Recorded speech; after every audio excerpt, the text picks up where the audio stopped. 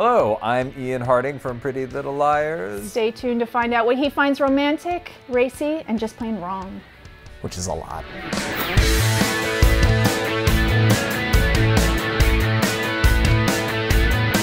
Like your little the, the, the turn up of the jacket. Oh, this is just because it's actually winter outside right it's now. really rainy and As cold opposed to out today. usual sandals and whatnot. Will you, will you look dashing? Oh, that's very sweet of you. Thank you. So I have um, I have a couple Twitter questions from your fans because we got a lot.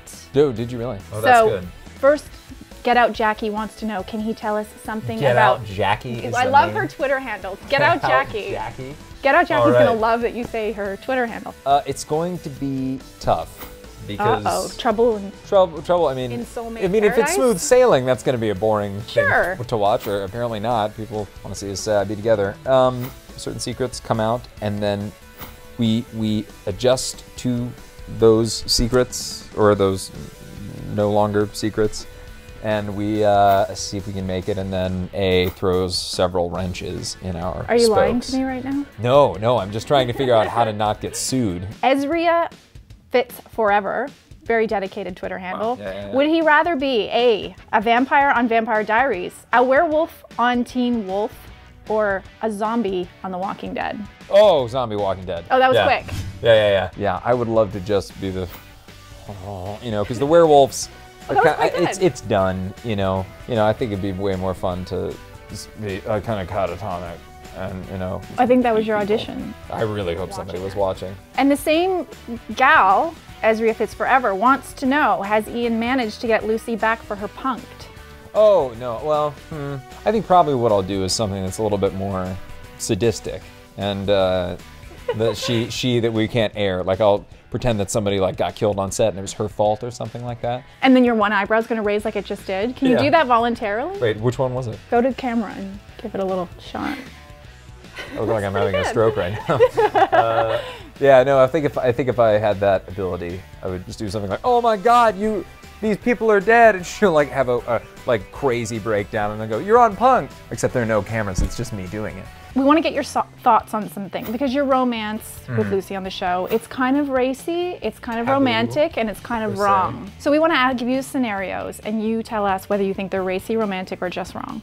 Okay. Okay? This is gonna get me in a lot of trouble, but here we go. Racy, romantic, or just wrong. Declaring your love for someone via Twitter. Stupid. I mean, uh, None of the above. well, I mean, is it real love? Because like, like I'll say, "Oh, hey, like I love Lena Dunham" or something. If it's and I love not her show. LUV, it has to be LOV. Like that's Like, real. listen, I'm in love with you. Like, I'm admitting my feelings and Yeah. I'm sharing it with the world. Yeah. I think if it's if you're really like enamored with like I I really love X, Y, and Z or certain artists on Twitter or something like, man, I love you. That's one thing. But if you're if you like met somebody or you have like a great date or something and and she's thinking that it went really well and that you're gonna call and instead you tweet her, I think that's not even wrong. I think you, you're It's a deal breaker. a deal breaker. I think you need to grow Okay, racy, romantic, or just wrong. Dating your best friend's ex. Context. I mean, because I think for like most of the time you're in hot water. I think it depends on how it ended. Like if if your friend said, "Hey, this girl's nuts," or "This guy's nuts," and and he dumps that person, and then you go, "Oh yeah, well if he did the dumping, it's fair game." Okay. I've had a thing for that person for a while. Right. I'm gonna go after it. And if he comes in, it's like, dude, what are you doing? It's like, what did you like? Is your stamp of property on her, him somewhere? No. So, okay, racy, romantic, or just wrong. Showing up unannounced at someone's door, boombox in hand, full blast, and serenading them. Oh man, I guess. I mean, if they said stay away or I'm gonna call the cops for real, and you were like, no, no, this will get him back, you're a lunatic who's about to be arrested. I think for the most part, if you're like in a terrible fight or something, or something bad went down and you just need to remedy it, or maybe you missed their birthday or their anniversary for the fifth time, then I think Boombox making a fool in front of the neighbors prior to the arrival of the Popo. Totally charming. Totally charming. And last but not least, texting questionable pics of yourself to another. Oh, dumb. Because it, it's gonna get it's gonna get found. Because now there's that whole etiquette, especially with the iPhone, of like somebody says, "Oh, hey, look at my dog that I just got," and you're handed the iPhone. And you go, "Oh my gosh!" I'm thinking that there's gonna be another dog picture right after it, and you skip, and it's their them, you know, showing their love for each other, and you go, "Oh, well, I know you so much better now," you know. Or you forward it to yourself and send it to all their All friends. of your friends and or your parents. Yeah, or theirs. Or they. Oh, that's the Oh, worst. That's dark. Well, thank you for clarifying all that. of course. We know now what to do and what not to do, and when I- in uncomfortable situations. I think I'm a moral pillar of, of truth.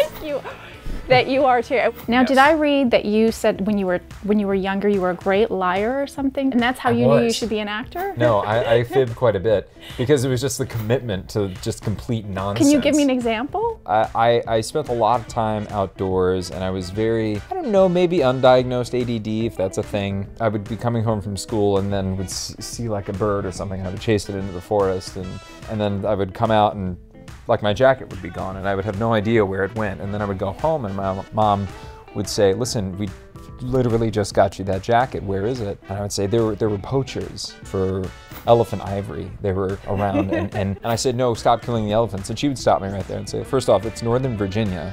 There's n- no elephants around, and you're lying to me right now. I was like, no, no, no, no. you I'm know. glad you went this direction because it Right. seems to have worked out quite well for Yeah, you. actor. And, See, for uh, a liar, you seem very frank. well, that's good.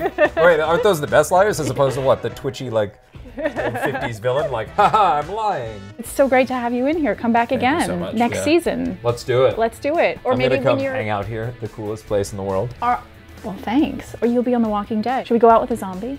Let's go out with a zombie. Wait, how do I go? Is it just like, Ready? oh, I think I got the wheeze down. That's good.